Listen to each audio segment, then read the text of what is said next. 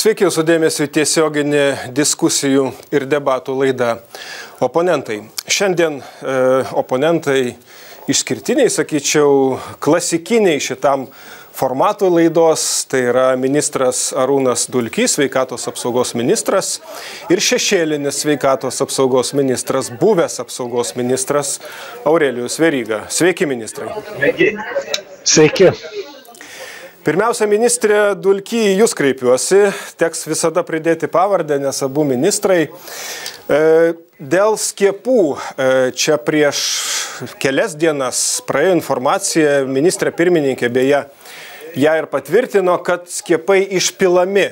Kitaip tariant, e, jeigu turbūt būtų iki šiol ministras Verygas sveikatos apsaugos ministru, o premjeru Skvernelis, tai taip spėju, kad, na, tikrai būtų išnešti kojomis į priekį ir visa žiniasklaida būtų, taip sakant, pasismaginus ant tokių faktų. Dabargi beveik nieko nevyksta, atrodo normalu mano vertinimu. Tai yra skandalas, ponė ministrė, kaip jūs vertinate tai, kad, na, čia tas pats, kas badmečių išmetinėti duoną, jeigu galiu sauliaisti taip palyginti, kaip jūs vertinate tai, kad kai skiepų trūksta, jie yra išpilami? Nu tai vertinu labai labai normaliai nes žinau visą pilną informaciją apie šitą apie šitą situaciją. O tai tie tie kiekiai e, kurie buvo utilizuoti jie yra iš tikrųjų labai labai nedideli ir dėl labai skirtingų priežasčių. Ir būtent tiek farmacijoj tiek sveikatos apsaugos sistemoje utilizavimas yra labai labai normalus normalus dalykas. Tai va būtent dėl šitų priežasčių manau kad tikros problemos nėra nes e, didžiojoje dalyje vakcinavimo centrų apskritai tokių atvejų nėra. Dalyje vakcinavimo centrų yra faktų kai tiesiog e, transportavimo logistikos dėl kitų priežasčių yra sudužusių buteliukų ir ir jie yra tada utilizuojami. Na o dėl tokių priežasčių kad apskritai nespėjo panaudoti tai yra tikrai labai nedideli skaičiai Bet ministrė premjerė sako, kad e, turbūt reiktų galbūt e, keisti tvarką skiepijimo, kad likus ar ne, kad ir vienai dos, doziai nepanaudotai, e, šimtai žmonių, tūkstančiai yra pasiruošę skiepytis, jie prie to neprileidžiami ir skiepai išpilami. Aš šitam kontekste klausiu tai šitam kontekste tai e, būtent e, tos minimos viešai ten tarkim pavyzdžiai gyvų eilių ar taip toliau tai jie yra būtent tos gyvos eilės naudojamos kada yra masinė vakcinacija. Čia šiuo atveju mes bendradarbiaujame su vakcinacijos centrais esame pasidomėję tai kai kurios tos situacijos yra tiesiog dėl darbo organizavimo specifikos ir sakykim na ką ko ko galima iš tikrųjų išvengti o ten didžioje dalyje kaip sakau apskritai nėra tokių atvejų. Tai įsivaizduoti kad organizuoti procesą gyvų eilių a to tokiam nedideliam ten kelių dešimčių ten sakykim tų dozių per tris mėnesius nuo pusės milijono dozių nepanaudojimo tai kaip tik tiktai įneštų dar didesnė didesnės sumaišties.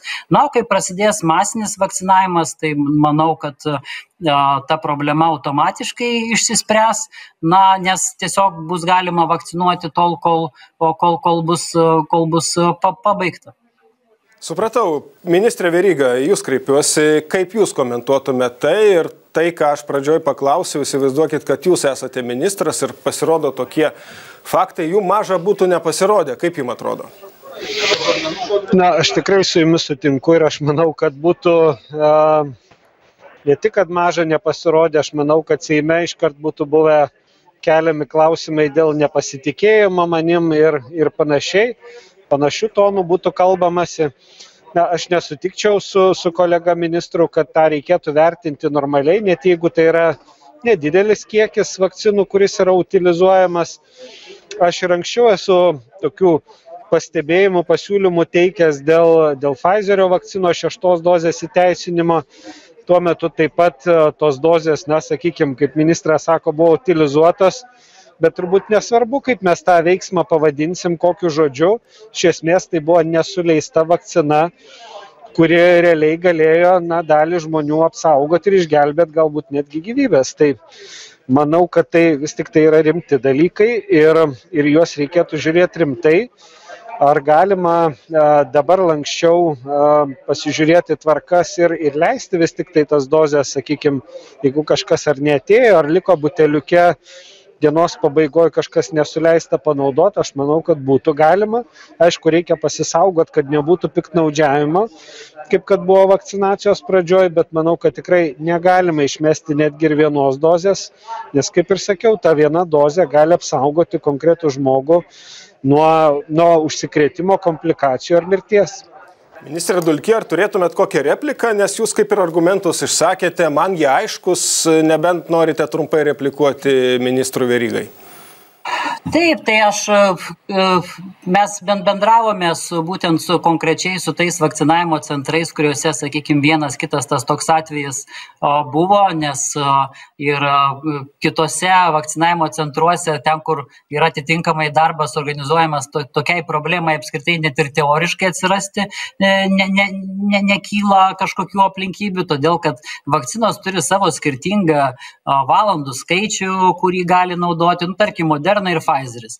Taip, jas pradėjus naudoti yra šešios valandos. Tai vakcinavimo centrai su, sakykime, patirtimi, jie tiesiog nuo jų pradeda o, ir, ir tada visą laiką jas panaudoja ir, ir baigia. Na, o kito, kita vakcina, jinai jau gali būti 48 valandas, tai nėra jokių problemų e, ją išsaugoti. Ir būtent e, tokių, aš specialiai pasidomėjau, tokių gyvų eilių principų kitose šalise, ten, kur nebuvo masinio vakcinavimo, jų net ir neegzistavo. Čia Izraelis kaip dažniausias pavyzdys yra naudojamas ten apskritai kitaip vakcinavimo centrai dirba. Ten yra masinio vakcinavimo, ten ir šaldytuvų nėra ir visai kitos, visai yra kitos na, aplinkybės, taip kad yra visai nesulygintini dalykai. O būtent kolega paminėjo tai labai taiklų na, aspektą, ir nes šiandien susirinkome tam mane, kad vieni kitus, kitus girdėtumėm, kad būtent mastas tos problemos yra antiek mažas, o štai piknaudžiavimo sukūrimas, sakykime, arba skatinimas dirbti neefektyviai, tai jisai būtų tikrai labai didžiulis.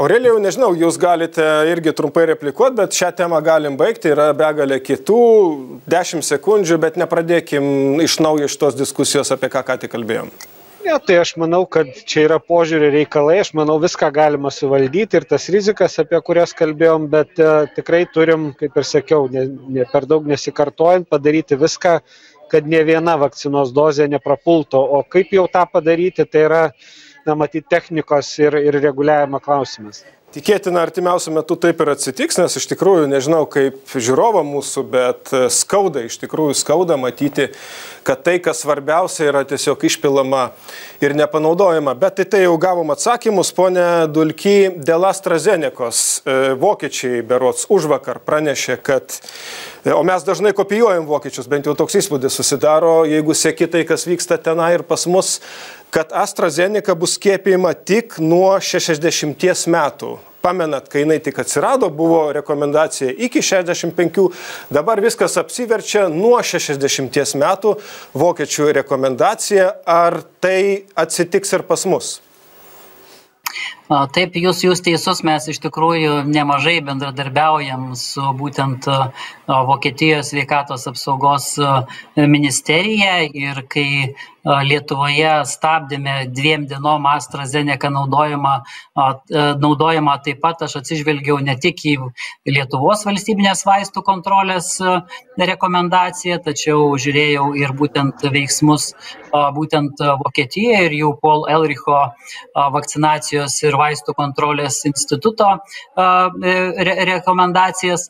Tačiau dabar po EMOS Europos vaistų agentūros sprendimų ir tų generalinių, finalinių išvadų, kad vis tik bendra nauda ryškiai viršyje įvairias kitas rizikas, tai mes tikrai nenumatome dabar daryti kažkokių tai būtent pokyčių ar grupuojant kur ta vakcina kokiai grupei kaip ten galėtų ar negalėtų būti vakcinuojama. Tačiau esame sutarę kad visi šeimos gydytojai visos gydymo įstaigos dabar gauna visada naujausią informaciją apie tai ką dar ekspertai ar mokslininkai kitose šalise apie šią vakciną mano arba kokių mato įspėjimų. Nes kaip matome, kiekvieną savaitę vis yra kažkokios tai naujos informacijos ar, apie, ar naujų signalų. Pas mus kol kas tokių sprendimų nebus, kaip aš supratau. Iš atsakymo Aurelijus Veryga yra Seime, jis gali mums net parodyti, kas vyksta šiuo metu. Seime vyksta opozicinė darbo tvarkė, Aurelijus Veryga ten pateikęs yra ne vieną įstatymų projektą, turi toj balsuoti, tikiuosi, kad tai netrukdys mums kalbėtis. Aurelijau trumpai iki pertraukėlės reklaminės porą minučių. Vakcinų karai, ne, jeigu taip kalbėti apie vakcinų karus, yra versijų, kad tarkim sąmoningai diskredituojama AstraZeneca, kad praskinti kelią Sputnikui yra interesai, ES nepatenkinta Londonu, AstraZeneca yra Britų, Švedų ir šiuo atveju e, vokiečiai lyg ir stumia per Europos komisiją Sputniką. Kiek tame yra tiesos arba netiesos? Na, aš manau, kad tame yra labai daug tiesos ir supraskim, kad čia mes kalbam a, turbūt apie milijardus, a, ypatingai turint galvoje, kad šita, šita pandemija užsitęs ir vakcinuot ko gero reikės rudenį, vėl teoriškai turėtų prasidėti jau revakcinacija kai kuriuo asmenų. Anksčiau paskiepytų, tai tai yra ilgas žaidimas. Ir diskredituoti kokią nors vakciną, tai na, gali tikrai būti intereso daugam. Aišku pirmiausia mum nedraugiškom valstybėm kurios gali žaisti savo žaidimus. Ir na man labai gaila kad ministrui gal šį kartą tiesiog pritrūko na kaip pasakyt tokių labai specifinių žinių dalykinių dalykinių žinių kurios na neleido gal pasitikint savim priimt sprendimą kuriam ministras turi teisę. Aš tik priminsiu kad ministras gali netgi sąjungoj neregistruotą vakciną leisti naudoti. Tai galios yra pakankamai plačios. Gaila kad buvo sudvejota susvyruota buvo sustabdyta vakcinacija. Na argumentuojant kad tai didins pasitikėjimą aš manau kad tai mažina pasitikėjimą nes jeigu yra stabdoma reiškia yra kažkokių abejonių. Ir na mano gal palinkėjimas būtų tiesiog ateičiai vaistų kontrolės tarnyba. Vėlgi kaip paklausi tokį atsakymą ir gausi. Va čia aš ir sakau dėl ko dėl ko labai reikia tokių specifinių žinių kitą kartą. Ir tikrai ministrui rekomenduočiau prieš tokį sprendimą kitą kartą jeigu iškiltų klausimas pasitart ne tik su vaistų kontrolės tarnyba yra imunologai yra yra žmonės kurie išmano gal ne tiktai biurokratinį mechanizmą bet gali ir kliniškai patart. Ir aišku kad visada bus rizika tam tikra priimant sprendimą bet mano manymu šitoj situacijoj kur buvo stabdoma vakcinacija žalos buvo ženkliai daugiau negu naudos Ministrė Dulky, jums minutė atsakyti, turėsime pertraukėlę, be abejo galėsime pratesti, bet jeigu tilptumėte minutę, būtų idealu. Tai man atrodo e, šita vieta šitas e, šitas argumentas yra per daug e, sureikšmintas nes noriu pasakyti kad tą dieną kai mes dviem dienom pristabdėm AstraZeneca vakciną tuo metu jau dviem šimtam septyniasdešimt milijonų europos sąjungos gyventojų buvo ji apskritai sustabdyta ir jau visą mėnesį sklido daugybė straipsnių apie nepasitikėjimą taip kad ta žala reputacinė iš tikrųjų jau buvo padaryta. Aš tiesiog atsižvelgiau į pol erich elricho instituto ir mūsų valstybinės vaistų kontrolės vaistų kontrolės tarnybos rekomendaciją būtent panaudodamas tą farmakologinio budrumo tą elementą todėl kad prieš tai mes lygiai taip pat du kartus jau buvom stabdę pfizerį bet tai nesukėlė jokių niekam didelių abejonių ar kažkokių ginčų Dar apie vakcinų karus, ką aš klausiau Aurelijos Verygos, būtinai su Arūnu Dulkiu pakalbėsime iš karto po trumpos pertraukos. Be abejo, ne tik tai dar yra kelios labai svarbios temos. Oponentuose sveikatos apsaugos ministras Arūnas Dulkys ir šešėlinis sveikatos apsaugos ministras Aurelijus Veryga. Netrukus po pertraukėlės.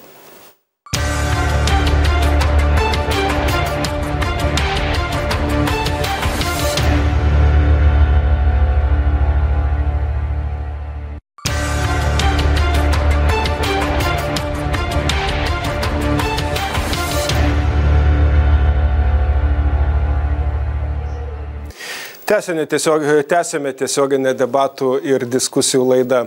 Oponentai šiandien klasikinis e, formatas, jeigu taip e, gilintis į kilmę žodžio oponentai, tai Arūnas Dulkys, sveikatos apsaugos ministras ir šešėlinis sveikatos apsaugos ministras Aurelijus Veryga. Diskusija vyksta konstruktyviai, bet pakankamai dinamiškai. Tikiuosi tokį tempą ir išlaikysim. E, pone Dulky, dėl tų karų vakcinų, ar ne? Tai, ko baigiam pirmą laidos dalį, e, turbūt taip ir yra, nes Aurelijus Veryga patvirtino, kad vyksta vakcinų karai. Vyksta karai galų gale dėl, dėl rinkų, milijardai turbūt pinigų yra į tas vakcinas e, investuojama ir parduodama atitinkamai. E, vokiečių stumimas Sputniko e, nekelia jums tam tikrų baimių, turint omeny, kad Ingrida Šimonytė iš principo jau yra kaip ir pasakius arba užtrenkus durims Sputnikui, jeigu staiga tos durys atsidarytų ES, ar atsidarytų jos ir Lietuvai, Lietuvoje Sputnikui?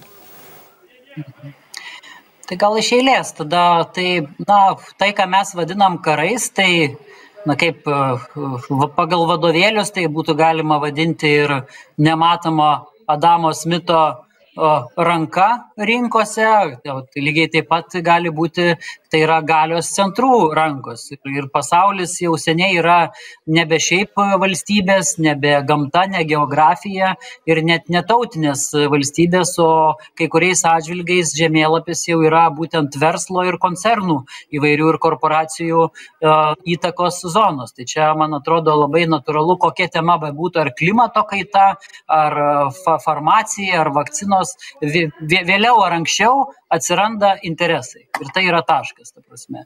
Na, o dabar dėl Lietuvos, tai man, man pakankamai yra ramu ir objektivumo dėliai noriu pasakyti, kad ir prieš tai buvusi vyriausybė tikrai priėmė ir pradėjo o tikrai teisingą darė kelią, diversifikavo įvairias vakcinas tą taip pat ir mes šitą dalyką tęsiame ir šiuo metu tas Lietuvos, Lietuvos vyriausybės rezervuotas įvairių vakcinų portfelis yra tikrai puikiai diversifikuotas tiek vakcinų rūšimis, tiek jų kiekių rezervacijomis, taip kad nematau jokių problemų dabar šituose karuose, tokių didelių labai reikšmingų, kurios iš esmės mums užkirstų kelią vakcinavimo sėkmei. Tad, kad žiūriu, žiūriu pozityviai, nepaisant to, kas vyksta globaliu mastu. Bet taip, ministrė, jeigu vienu sakiniu, e, jeigu EMA Europos vaistų agentūra patvirtina Sputniką, ar tai reiškia, kad mes jo automatiškai sulauksime Lietuvoje ar nebūtinai? Ne nebūtinai todėl kad mes esam rezervavę jau dabar virš dešim milijonų vienetų įvairiausių skirtingų rūšių vakcinų tai šitam etape e, tikrai kalbos apie tai nereikia. O kas bus ateityje kas būtų jeigu būtų arba kaip mano kolega mini ta realybė kad su virusu gyvensim ilgai ir bus re revakcinacija tai aš manau kad čia dar bus ir ir ir sputnik ir sputnik du ir dar bus pačių įvairiausių pasaulyje vakcinų. Vien šiuo metu dar jų kelios dešimtys yra tiriamos kuriamos ir ruošiamos autorizuoti Aurelijus Veryga yra Seime, mes tą akivaizdžiai matome, gyvai vyksta Seimo posėdis. Aurelijus Veryga dabar jau savo darbo vietoje, bet jisai, taip sakant, skiria ir mum. Laiko galimai toj turės balsuoti, bet, kaip sakoma, rankos laisvos, laisvų rankų įrangą matau. Pas jūs, Aurelijau, dėl Sputniko pritartume tai, ką kalbėjo ministras Dulkis? Na, iš tikrųjų, aš galvoju, kad turbūt mums to apsisprendimo ir neprireiks. Ir kaip tikrai ministras teisingai paminėjo, Lietuva susiformavo e, pakankamai platų vakcinų portfelį. Juo labiau, kad turėkim galvoje, na, bent jau aš tiek mačiau tokių viešų žinučių, kad pati Rusija Europoje ieškojo na, būdų arba vietų, kur, kur gaminti Sputniko vakciną. Tai matyt, tai yra iliustracija tam tikra, kad pati Rusija kaip šalis ne, na, negali pasigaminti tokių kiekių, kokių jai pačiai reikia. Tai čia labiau turbūt ne mums reikės įsigyti, bet ko gero, kad Rusijai pačiai reikės galvoti, kaip tą vakciną pasigaminti tiek, kad galėtų susiskiepyti savo gyventojus. Tai manau, kad čia yra labiau toks na, klausimas, kuris gal labiau skirtas aistrom kurstyti, negu, negu kad realiai Lietuvai reikėtų apsisprendimo. Vienintelis galbūt dalykas, kuris, kuris čia mūsų kontekste lietuviškam žaidžia, tai yra mūsų šalies rytiniai regionai, kur yra rusakalbiai gyventojai, kur, kur yra tikimasi būtent šitą vakciną gauti, bet čia vėlgi manau, kad yra labiau ne pačios vakcinos, bet komunikacijos klausimas, nes Lietuvoje, vad ką ir sveikatos reikalų komitete ministerijai buvo tokie pastebėjimai išsakyti, kad būtų svarbu suintensyvinti komunikaciją mūsų tautinių mažumų kalbomis, tai yra rusų, lenkų matyt kalba kai kuriuose regionuose, kad žmonės gautų informaciją, nes jeigu, žinot, mūsų šalies gyventojai žiūri Rusijos, Rusijos transliuojamus televizijos kanalus, tai natūralu, kad ten apie, žinot, apie AstraZeneca yra skleidžiami iš vis mitai ir fantastika, o, o Sputniko vakcina yra giriama. Nu, tai žmonės, kurie kitos informacijos negauna, matyt, kad jiem tokių norų kyla, tai čia mums tiesiog reikėtų padirbėti labiau ne, negalvojant apie pačią vakciną ar jos įsigijimą, bet labiau apie komunikavimą tinkamą. E, dar taip pat pasakau laido žiūrovams, kad ministrai galės užduoti ir klausimus vienas kitam, apie tai bus šiek tiek vėliau. Ministrė Dulky, jūs kreipiuosi dėl e, laisvinimo, ar ne? Irgi labai svarbi tema. Lockdownas, žmonės pavargę, e, ne vienas mėno jau trunka. Šiek tiek atlaisvinot, prieš Velykas nebesiryžot laisvinti, nors buvo planų laisvinti ir iš tikrųjų matome, tarkim, tą pačią Vokietiją minėjom pirmoji daly, tą patį Tübingeno miestelį, apie tai buvo rašoma ir mūsų portaluose, buvo reportažai, e, kaip ten tiesiog e, tos dienos testo e, leidimas, ar ne, tu pasidarai testą, jis yra neigiamas ir tą dieną tu gali eiti į parduotuvės, į kirpyklas, į restoranus, į kavinės, senamestis veikia, viskas veikia ir tai irgi yra pavyzdys, kaip galima lockdowno sąlygomis atlaisvinti ir verslą, ir žmonės. Kaip jums toks pavyzdys? Na, įdomus eksperimentas, bet jame yra dar daug, kaip sako, neatsakytų klausimų, nes šiuo metu yra tokios, nuskaikim, kelios pagrindinės kryptis. Tai vienas, viena kryptis tai yra apskritai ES mastu. Yra kalbama apie imuniteto sertifikatą ir tariamasi, koks jo turėtų būti turinys ir ką, kuo jisai galėtų būti naudingas. Norėčiau pasakyti, kad kažkuria prasme nematomas imuniteto sertifikatas jau veikia ir Lietuvoje, nes mes į Lietuvą įvažiuoti e, tie, kurie yra vakcinuoti ar persirgę, leidžiame jau dabar kitom, kitomis sąlygomis ir jiems nereikia iz, izoliuotis. Na, kita, kitas dabar, kita tendencija, kuri vyksta, tai bandymai dvi šalių būdų tarp kaimininių valstybių arba ten, tarkim, Izraelis su kitomis valstybėmis bando tartis, kaip jų vakcinuoti žmonės galėtų, ką galėtų daryti daugiau ir, ir kaip lengviau. Na, e, tada jau tas trečias tai yra tiesiog nacionaliniam lygmenyje, nelaukiant ES, sakykime, kažkokių apsisprendimų, ar galima ar negalima kažką daryti, ar tai atskiro miesto, ar nacionaliniu lygmeniu. Tai aš manau, kad e, visos tos idėjos yra tai, linko juda apskritai šitas mūsų, mūsų pasaulis, nes tas virusas jis neatsisveikins, ta prasme, jis tiesiog, tiesiog privers mumis pačius keisti kai kurios įpročius ir įsivesti įvesti kažkokias naujas žaidimo taisyklės. Pone Veryga, kaip Jūs matote vyriausybės e, sprendimus artėjant Velykom, būtent tokius, kokius mes puikiai žinome, vėl uždaromi judėjimai tarp savivaldybių, ribojami, sakykime taip, uždaromi tam tikriem dideliai grupiai visuomenės, reiktų taip sakyti, uždaromi, tiem, kas ten gali per tas išimtis pravažiuoti, pravažiuoja. E, kritikuotumėt ką nors ar darytumėt taip pat? Dėl Velykų turbūt nekritikuočiau, nes e, aš esu ir anksčiau sakęs, kad tos didžiosios šventės, kada mobilumas yra labai didelis, tikrai turi logikos šitiem uždarimam, jo labiau, kad e, na, galim jau iš lietuviško konteksto pasimokyti tam tikras pamokas, e, pasižiūrėti praėjusių metų, sakykime, Velykų vėlinių, kalėdų laikotarpiai, tai dabar vėl yra Velykos ir manau, kad Velykų laikotarpiai yra logiški sprendimai, bet man atrodo, kad tikrai buvo nelogiška iki to laikyti uždarimų savivaldybių, nes problema yra ne pats važiavimas, o kas vyksta po to. Ir dėl to žmonės, žinot, demotivuojasi, pradeda kai kurių dalykų tiesiog nebesilaikyti o dar truputį sureaguojant gal į ką minėjo ministras dėl dėl šitų visų skiepų pažymėjimo ar ten persirgimo ar panašiai.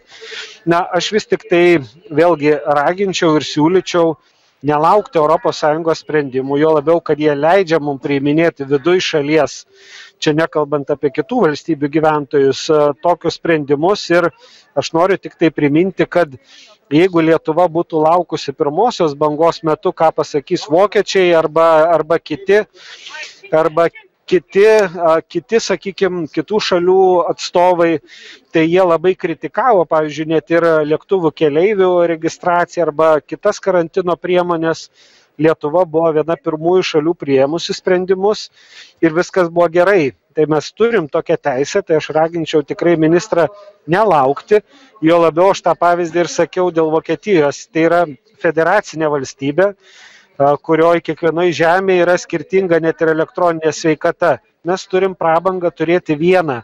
Ir jau ir dabar ten yra mūsų įrašai tiek apie skiepijimą tiek apie testo rezultatą tiek apie ligą persirgtą ir mes puikiausiai lietuvoj jau dabar galėtumėm tam tikrus dalykus įgyvendint. Tą darė izraelis. Ir iš tikrųjų tai yra pa pa papildoma motyvacija žmonėm ateiti galų gale ir pasiskiepyti. Ir kai balandį atvažiuos daugiau kaip ir mini ministras vakcinų aš siūlyčiau nelaukti tikrai sąjungos. Tie sprendimai europinio lygio yra svarbūs judant tarp šalių. Bet viduj mes tikrai galim taikyti lanksčiau šitas priemones ir turėtumėm taikyt Pone Dulky, yra minutė su trupučiu atsakyti. Aurelius Veryga pažiūrė daug pasiūlymų. Prašau, jūs galite atsakyti. Tai, tai pasiūlymai yra geri praktikoje šiek tiek sudėtingiau ir mano kolega ne vienus metus buvęs šitoj kėdėj puikiai žino, kokia yra e-sveikatos reali situacija šitų sistemų ir ką reiškia, kai yra norima paleisti kokį nors masinį procesą būtent per ją, o ne tik teoriškai įsivaizduoti, ką jinai gali pakelti ar ne. Ir šiuo metu jos apkrova ir dėl vakcinacijos, ir dėl kitų dalykų, kurie yra dabar šiuo metu programuojami yra pakankamai, pakankamai sudėtinga, bet taip aš kolegai pritariu ir mes judame tuo, tuo keliu ir, ir tikrai nesiuošiame laukti vien tik tai ES, sakykime, tų e, sprendinių. Na, o dėl mobilumo, tai, žinot, kiekviena situacija yra unikali. Aš pirmos pandemijos laikotarpio visiškai negaliu judėjimo lyginti, nes jeigu mes tą problemų kalną ir tą atvejų skaičių palyginsime a, antros pandemijos situaciją ir pirmos pandemijos situaciją, tai jūs a, paveiksliuke grafike ar žemėlapyje jūs pirmos pandemijos matysite tiktai nedidelį tašką. Tai yra vieni dalykai ką tu gali daryti e, turi turėdamas tokio dydžio problemą ir ką turi daryti turėdamas visą kalną. O palengvinimus judėjimo tai mes jau buvome pradėję ir būtent didžiojoj daly savivaldybių kurios buvo tos geltonosios žaliosios vadinamos zonos taip jau jos buvo atpalaiduotos ir ir manau kad po velykų mes e, sugrįšime vyriausybę ir svarstysime toliau ir tikrai e, idėja yra daugiau galvoti apie tas kitas priemonės, bet ne apie suvaržymus. Smagu, kad ministrai girdi viens kitą, o ne tiesiog aklai kritikuoja dėl kritikos, kaip kad būna kartais opozicija tiesiog kritikuoja dėl to, kad kritikuoti, diskusija konstruktyvi, e, laukia pas... Kaip sakot, Arūnai? Mes sakome, mes su gerbėjau Aurelijų, ne, ne lietuvių su vokiečiu, mes, mes lietuviai pasikalbam. Taip, taip, ir bendras priešas vienyje, bet e, dar trumpai tik pasakau, kad e, trečioj daly laukia ir ministrų klausimai vienas kitam. Dabar trumpa pertraukėlė, likite su Lietuvos ryto televizija, netrukus grįšime.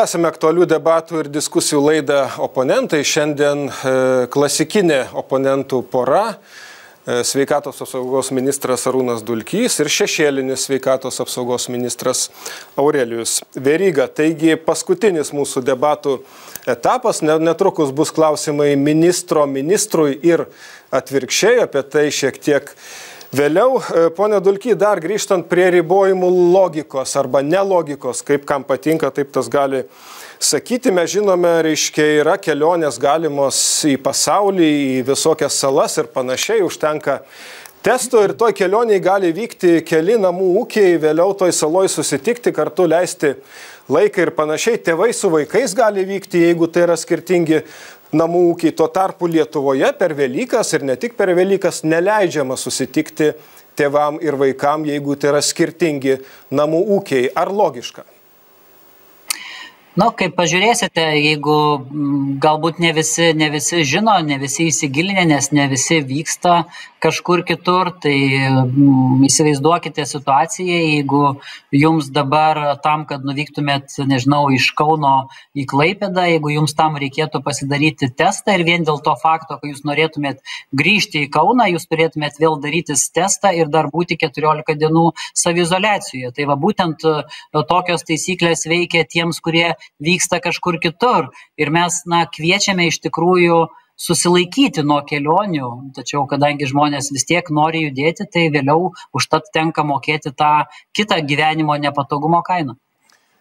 Pone Veryga, jūs vis dar matau Seime, bet jau be kaukės, tai suprantu, kad kažkur paėjo toliau nuo kolegų. E, rimtai kalbant, kaip jums šitas, tai ką aš paklausiau Arūno Dulkio, būtent apie tą palyginimą, jis vykęs, nevykęs, kaip jums atrodo?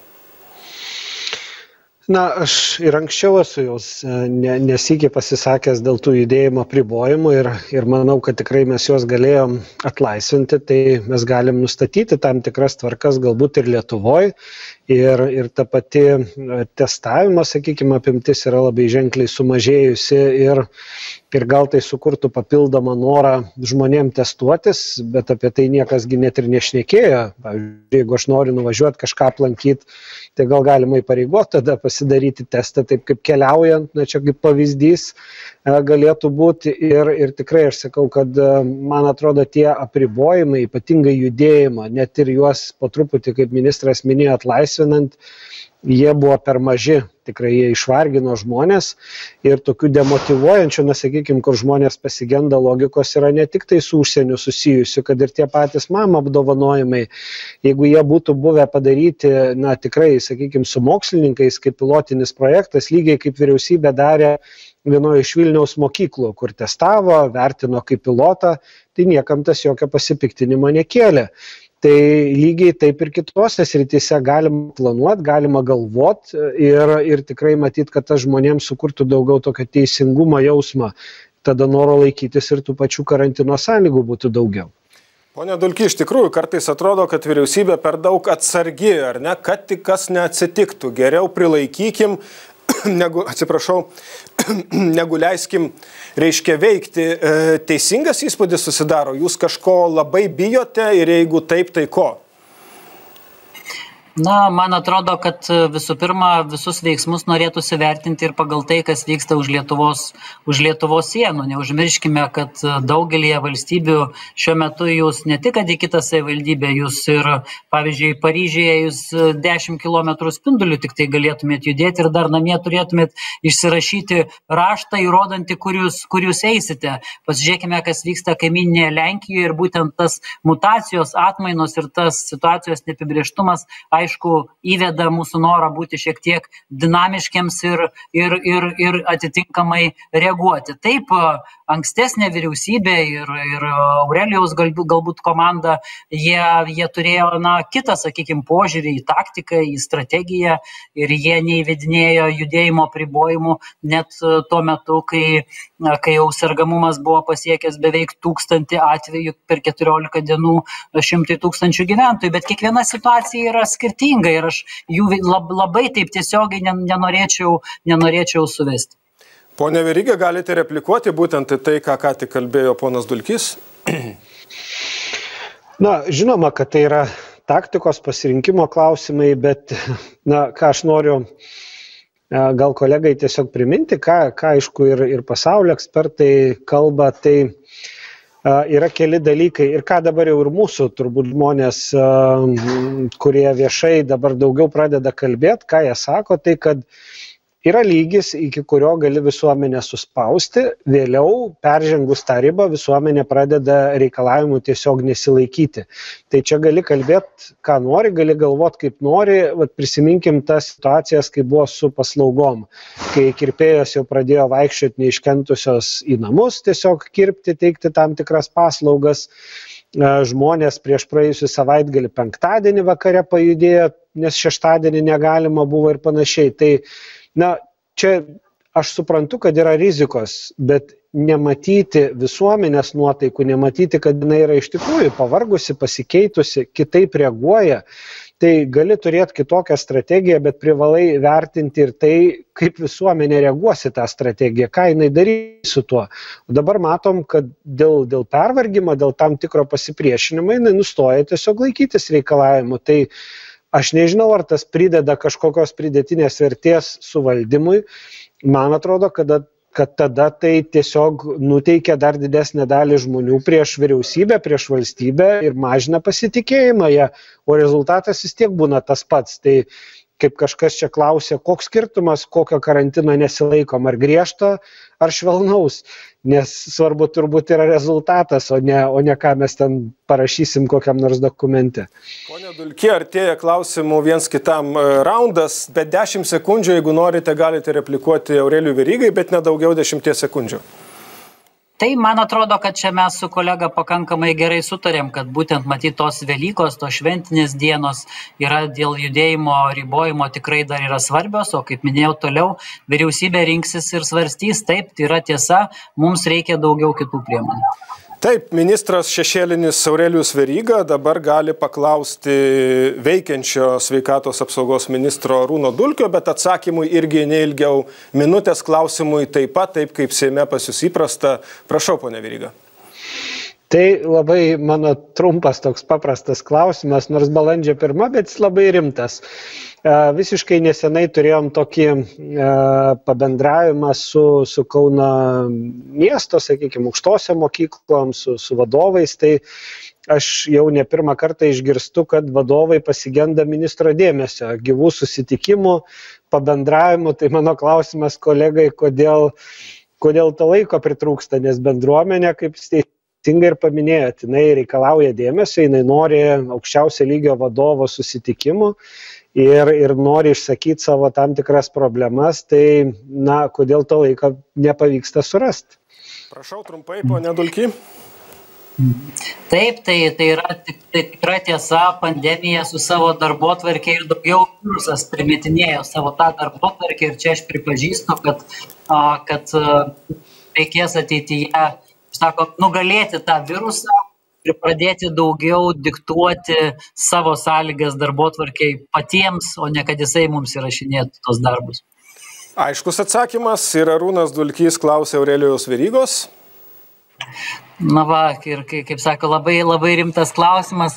Tai a, aš iš tikrųjų norėjau kolegos irgi labai trumpai paklausti, nes ir tokio kaip ir tuo pačiu ir, ir, ir patarimo, nes uh, tikrai prioritetinių grupių nustatymas vakcinavimui tikrai buvo na, sudėtinga. Mums užduotis reikalavusi labai daug diskusijų, analizės ir tikrai buvo labai didžiulė nuomonių įvairovė. Tai aš tiesiog kolegos norėčiau paklausti, ar ką jisai būtų padaręs kitaip arba galbūt aš dar galiu kažką padaryti kitaip, būtent tęsiant tas prioritetinių grupių vakcinavimą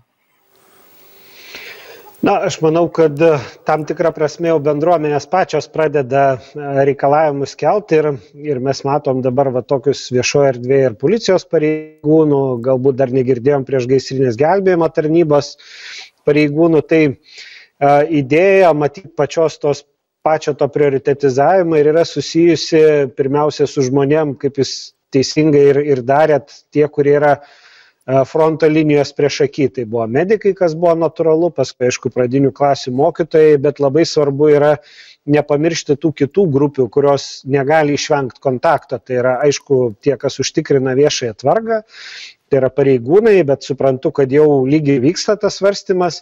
Ir yra dar keletas sričių kurios negali išvengt. Tai yra pavyzdžiui parduotuvių kasininkės tarkim kurios neturi kur dėtis jom tiesiog reikia būt darbe tai va tokiu principu aš galbūt žiūrėčiau nes ten kur yra nesustojęs gyvenimas ten kur žmonės negali neiti į darbą negali pereiti į nuotolį tai ten pirmiausia ir turėtų prasidėt vakcinacija. Tai va toks matyt palinkėjimas galbūt ar principas o šiaip bendruomenės jos pakankamai greitai save apie save indikuoja ir ir toks gal palinkėjimas tiesiog na nedelst greitai lanksčiai sureaguot ir manau kad tada ir tų įtampų ir tokių pykčių nebus. Nes natūralu kad apie viską negali iš karto pagalvot bet kaip ir sakiau kai kai jau įvyksta kažkoks tai ženklas yra duodamas tiesiog lanksčiai sureaguot ir viskas bus gerai. Taip, tai buvo klausimai vienas kitam, lieka minutė, ponė Dulky, labai prašau aiškaus atsakymo trumpo ar grėsia mums dviejų savaičių totalus lockdownas, jeigu situacija po Velykų pablogės? Taip ar ne? Aš negaliu naudodamas tokius žodžius atsakyti į šitą klausimą, tu prasme. Tai vyriausybė, taip vyriausybė rinksis po Velykų tartis. Ir jeigu situacija blogės? Atitinkamai svarstysim kokius čia tuos sprendinius priimti bet kaip ir ne kartą sakiau dabar prie ta prie starto linijos stovi keturi bėgikai vakcinacija testavimas sergamumas ir mutacijos. Labai norėtųsi kad pirmieji du pasiektų finišo liniją vakcinacija ir testavimas. Kągi, tada bus gerai Kągi, kalbėjusi du ministrai, vienas šešėlinis, kitas nešešėlinis, Aurelijus Veryga ir Arūnas Dulkys. Matosi, kad ministrai kalbasi ne tik laidose, tai nuteikia optimistiškai, taip pat mes dėkingi, kad ministrai kalbasi ir laidose. Ačiū Aurelijui Verygai, ačiū Arūnui Dulkiui, ačiū žiūrėjusiems šią laidą. Netrukus žinios, likite su Lietuvos ryto televizija. Šią laidą bet kada galite matyti L ryto LT portale ir Facebook'e. Iki kitų sustikimų.